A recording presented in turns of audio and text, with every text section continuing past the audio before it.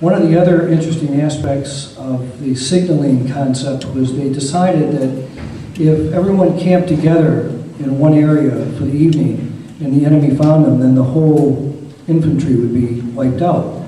So they decided to camp in three separate camps, about a mile apart from one another.